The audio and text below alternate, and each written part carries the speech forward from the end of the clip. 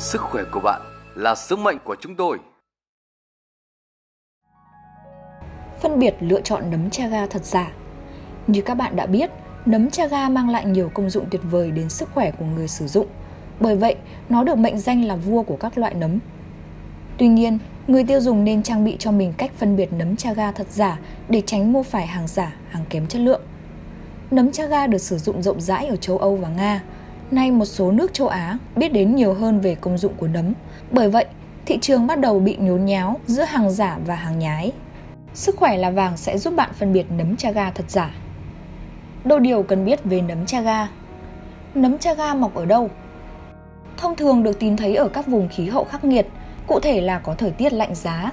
Nấm chaga thường được nhìn thấy ở các vùng núi cao của Nhật Bản, Hàn Quốc, Canada, Nga, Nấm chaga có thể tồn tại ở nhiệt độ âm 45 độ C. Đây cũng là điều kiện để nấm có thể sinh trưởng và phát triển tốt nhất. Với khí hậu như ở Việt Nam, hiện chưa có nơi nào có thể đáp ứng cho sự tồn tại của loại nấm này. Nấm chaga sống ký sinh trên cây bạch dương và hút chất dinh dưỡng từ cây để nuôi dưỡng cơ thể. Nấm chaga đạt điều kiện thu hoạch tốt nhất cho đến khi hút sạch chất dinh dưỡng và vật chủ chết. Tuy nhiên, cây chết nhưng không hề bị thối mà chỉ bị bạc trắng Nấm chaga ở vùng Siberia của Nga được đánh giá là có giá trị dinh dưỡng cao nhất. Bởi nấm chaga sống ký sinh trên cây bạch dương, mà cây bạch dương được mệnh danh là quốc hồn của Nga. Trải qua một khoảng thời gian khắc nghiệt như thế, nấm chaga tích tụ được nhiều chất dinh dưỡng quý hiếm. Bởi vậy, tác dụng nấm chaga đem lại được đánh giá cao và rất đáng kinh ngạc.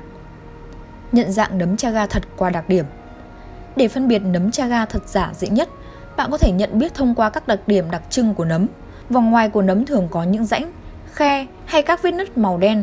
Nhìn qua có thể thấy nấm giống như một cục than cháy xém. Khi sờ vào nấm thấy cứng, thô và sần sùi. Nấm chaga thật rất cứng và khó bẻ. Ruột nấm có màu nâu sẫm đặc trưng, giống với thân cây.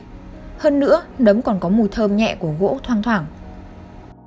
Phân biệt nấm chaga tự nhiên và nuôi trồng Nhiều người sau khi tìm hiểu về nấm chaga và để lại thắc mắc khi biết rằng nấm chaga còn được chia thành hai loại – loại nấm chaga tự nhiên và nấm chaga nuôi trồng. Để giải đáp mọi thắc mắc của người dùng, chúng tôi xin chỉ ra cách để phân biệt được hai loại nấm này. Về mặt dinh dưỡng, có sự khác biệt rất lớn về nấm chaga tự nhiên và nấm trồng nhân tạo. Nấm chaga tự nhiên được cho là có giá trị cao hơn về mặt dinh dưỡng so với nấm chaga được nuôi trồng. Điều này đã được các nhà khoa học chứng minh. Do nấm chaga tự nhiên trải qua những điều kiện mà con người khó có thể mô phỏng, dần dần tích lũy và hình thành nhiều hợp chất quý hiếm.